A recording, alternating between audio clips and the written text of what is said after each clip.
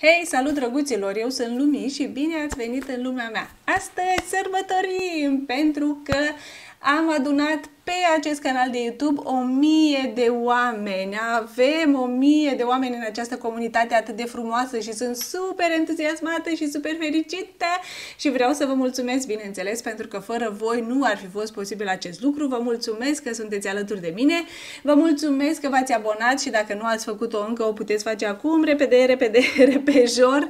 Apăsați acolo uh, butonul de subscribe, abonează-te ca să ne adunăm cât mai mulți și uh, să fim așa o comunitate foarte faină. Și astăzi sărbătorim, pentru că, așa cum vă spuneam, sunt super fericită, sunt super entuziasmată uh, și vreau să sărbătoresc împreună cu voi acest lucru prin a răspunde câtorva întrebări referitoare la canalul de YouTube și nu numai. Există un tag pentru cei care fac o mie de abonați.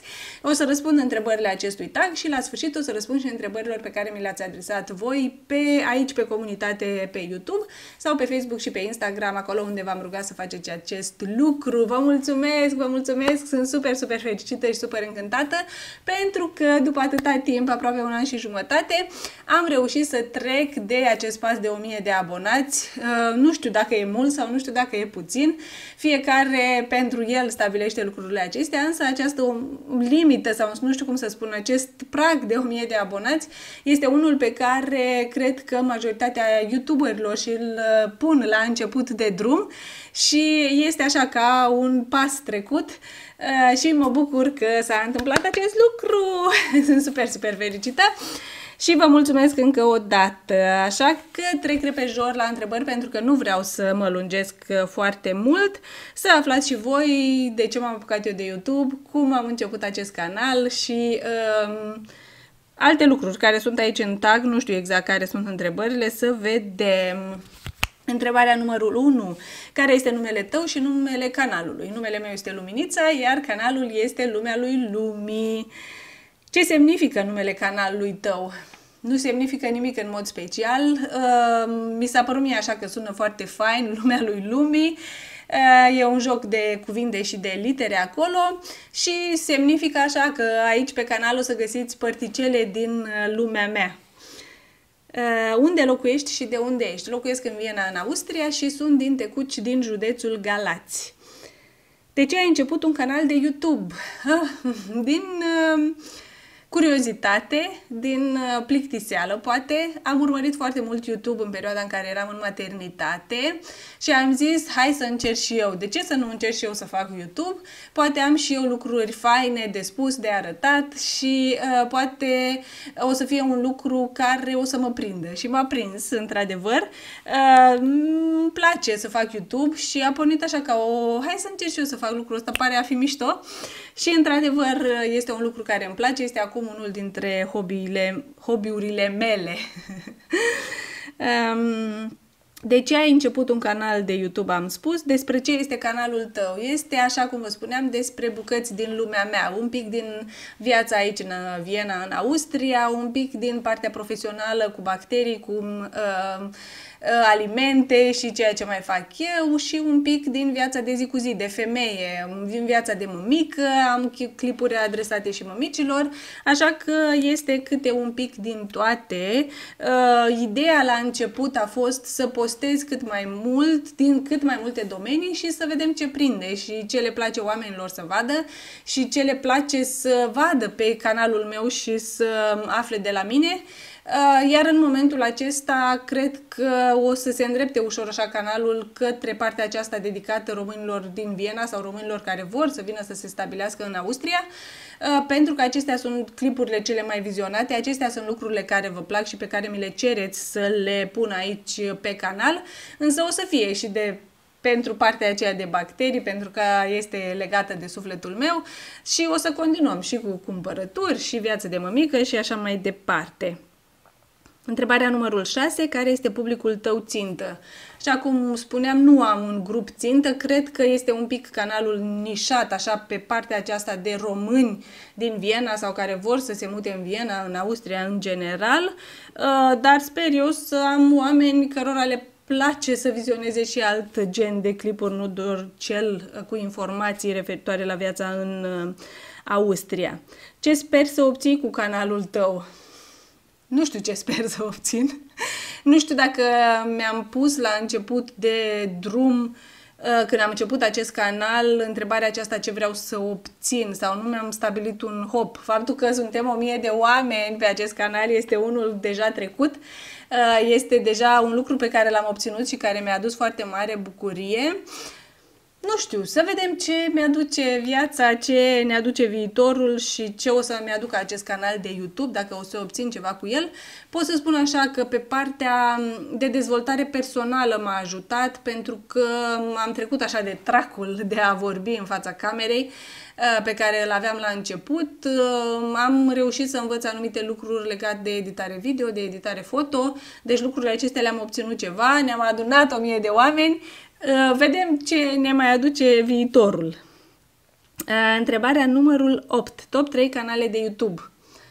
Nu știu dacă pot să spun 3, cred că două îmi vin acum în minte, Secretele Elenei și Laura Caraba. Acestea sunt canalele de YouTube pe care le urmăresc cel mai des, pentru că, sincer vă spun, de când m-am apucat de YouTube, nu prea mai am timp să urmăresc YouTube. Cine te-a inspirat să-ți deschizi canal de YouTube? Nu m-a inspirat nimeni în mod deosebit, doar privind YouTube Uh, vizionând foarte mult, am spus, ok, hai să încerc și eu să fac lucrul acesta. Nu a fost o inspirație de moment de la cineva sau oricum. Am zis că hai să încerc să văd. Mi se părea interesant așa și am zis că de ce nu aș putea și eu să fac lucrul acesta. Dacă ai putea colabora cu oricine, cine ar fi acea persoană? Nu știu, nu am o persoană anume în minte, pentru că, așa cum vă spuneam, nu am uh, anumite persoane pe care să le urmăresc neapărat. Mai sunt așa clipuri pe care le văd din diferite uh, domenii, din, de la diferite persoane, însă nu, nu știu dacă am o persoană. Dacă vrea cineva să colaboreze cu mine, în schimb, sunt deschisă la acest gen de colaborări. Spune trei motive pentru care cineva trebuie să se aboneze canalului tău. Pentru că, în primul rând, vreau să vă transmit foarte multă energie pozitivă, bună dispoziție, informații utile, folositoare și, așa, tips and tricks despre mm, bacterii, despre siguranța alimentară, despre ce putem să facem aici în Viena, cum să ne petrecem timpul, unde să mergem cu copiii. Sunt lucruri faine pe care le găsiți pe acest canal din foarte multe uh, domenii așa să spun, uh, și toate vin la pachet cu energie pozitivă și cu bună dispoziție, de ce nu? Așa că dacă nu v-ați abonat încă acestui canal, puteți să o faceți acum repejor și vă mulțumesc pentru acest lucru. Cu ce canal seamănă sau va semăna canalul tău? Nu știu. În momentul în care eu am început acest canal, uh, unul dintre motive era faptul că la momentul acela nu exista o persoană pe care, care să facă YouTube și eu pe care, pe care să o urmăresc de aici, din Viena. Uh, urmăream fete din Anglia, din Germania, din Spania, dar de aici din Viena nu cunoșteam pe nimeni sau nu știam, nu găsisem pe YouTube pe cineva care să facă YouTube. Așa că zic eu că partea aceasta de informații adresate românilor din Viena este oarecum singură în momentul acesta. Cred că mai sunt și alte persoane în momentul de față care fac YouTube și locuiesc în Austria, uh, dar cred că eu partea asta asta de informații nu am mai văzut-o la nimeni. Restul de uh, clipuri, bineînțeles, le mai găsiți și pe celelalte canale pe care uh, vă place vouă să le vizionați aici pe YouTube, nu știu. Uh, dar nu este un canal cu care va semăna, nu vreau să copiez pe nimeni, eu sunt eu, vreau să fac lucrurile așa cum îmi place mie și uh, vreau să cred că mă urmăriți pentru că vă place acest canal, nu pentru că ar copia un altul la care vă uitați. Care este lucrul tău preferat la comunitatea YouTube? Îmi place YouTube-ul pentru că oferă informații foarte faine, uh, poți să găsești aproape orice îți dorești, sunt oameni care depun foarte mult efort și foarte multă muncă pentru a pune aici pe YouTube uh, clipuri faine, informații importante uh, și îmi place YouTube-ul în general, nu știu dacă neapărat ceva specific la comunitatea de YouTube. Uh, care este lucrul pe care nu îl place pe YouTube. Uh, nu place foarte mult faptul că de cele mai multe ori sau în anumite cazuri, să, să spun mai bine așa, în anumite cazuri se pune foarte mult accent pe partea aceasta financiar. Haide să vindem, să recomandăm, să facem, chiar dacă nu am încercat produsele sau chiar dacă nu știm exact despre ce este vorba, eu de fiecare dată când fac un clip sau încerc să ofer niște informații, mă informez și încerc să fiu cât mai eh, precisă și cât mai eh, corectă în ceea ce spun, dar, nu știu, partea aceasta comercială a YouTube-ului cred că este un pic exagerată în momentul acesta. Mi se pare corect ca oamenii care lucrează și pun muncă multă pentru a pune aici content pe YouTube să fie și remunerați uh, corespunzător, dar cred că eu, de exemplu, caut pe YouTube uh, chestii care să mă relaxeze, care să îmi produc așa câteva minute de bună dispoziție nu neapărat lucruri comerciale, dar ne putem alege ce să vizionăm aici pe YouTube, adică dacă nu ne place, nu ne uităm.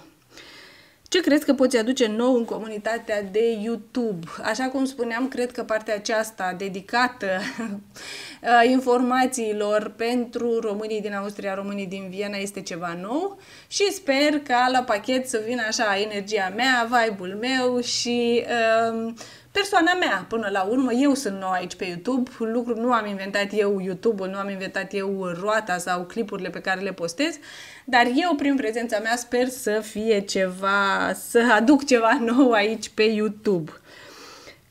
Care crezi că ar fi cel mai greu lucru pentru a deveni YouTuber? Întrebarea numărul 16. Nu este greu. Dacă îți dorești și ai timp, să faci munca aceasta. Este, pentru mine a fost la început destul de greu să mă obișnuiesc să vorbesc în fața camerei, chiar dacă eram eu singură, uh, doar eu și cu mine și camera, tot aveam trac, tot mi era greu să mă exprim, să vorbesc, uh, dar cu timpul lucrurile acestea se învață și am căpătat un pic de experiență, așa că am trecut și peste lucrul acesta. Este destul de greu să editezi, să înveți. Dacă ești la început de drum, totul este greu, dar pe parcurs, cu muncă și răbdare, lucrurile se fac și uh, în cele din urmă reușești, de ce nu, să strângi și o mie de oameni pe YouTube. Ai trucuri sau sfat... A, întrebarea numărul 18, pardon. Te vezi făcând YouTube pentru mult timp de acum încolo. Eu sper. Nu știu cât o să mă țină. Sunt perioade în care am um, așa creativitate și um, uh, cum să spun, entuziasm și vreau să filmez și vreau să fac. Sunt perioade în care sunt mai jos și parcă nu mai am energie, nu mai îmi găsesc idei. Uh, merge așa când și când, uh, dar sper eu să fac YouTube în continuare, pentru că, așa cum vă spuneam, este o pasiune de-a mea. Nu este ca și cum aș avea un contract, nu câștig bani, nu se întâmplă lucrurile acestea. E pur și simplu o plăcere de-a mea pe care mi-ar face plăcere să o continui și să fac YouTube pentru mult timp încolo, dar nu știu niciodată ce se va întâmpla. Întrebarea numărul 19. Ai trucuri sau sfaturi pentru cineva care vrea să își deschidă canal de YouTube? Răbdare și muncă. Aceasta a fost pentru mine experiența YouTube până în momentul acesta. De un an și jumătate fac eu YouTube încercând să postez duminică de duminică.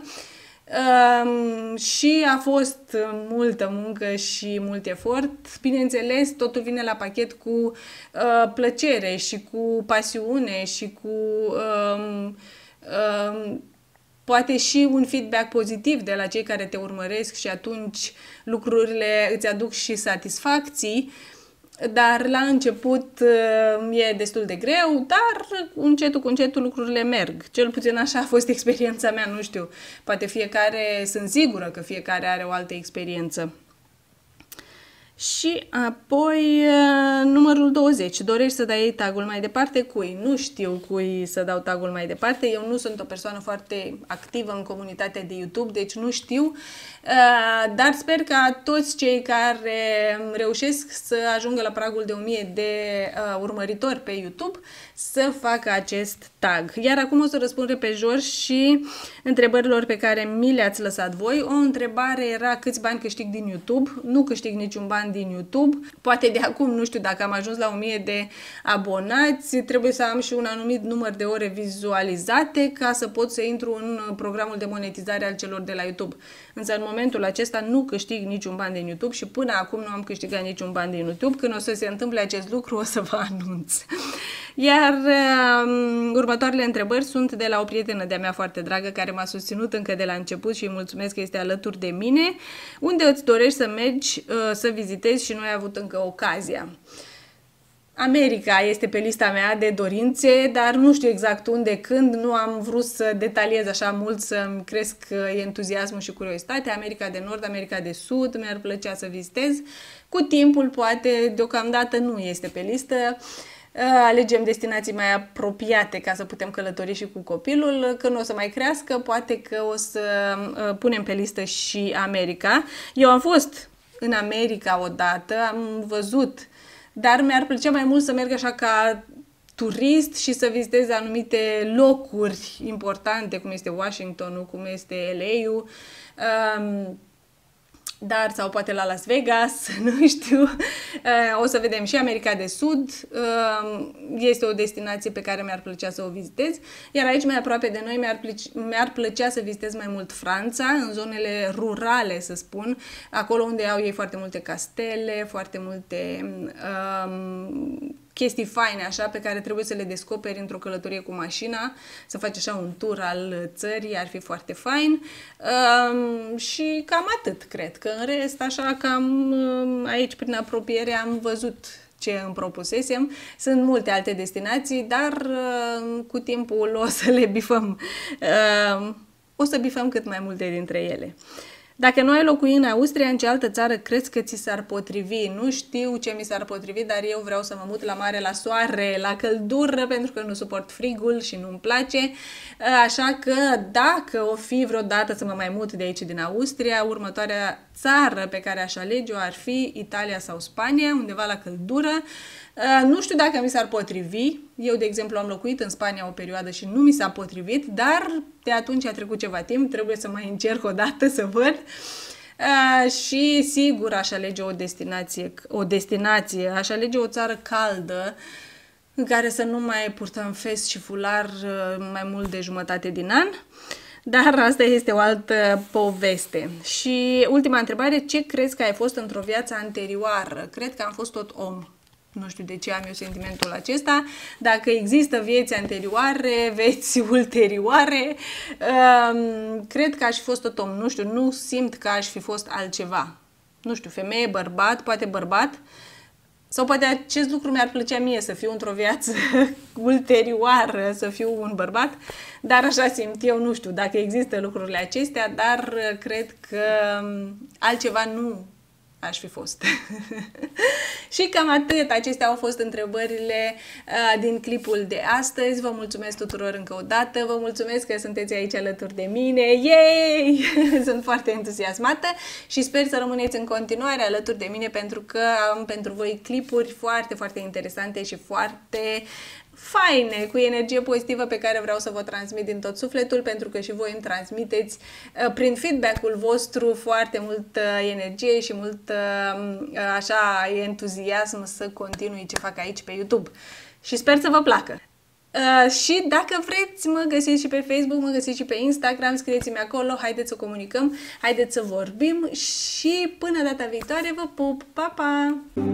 Child, when you're out on your own, a million miles from home, feeling the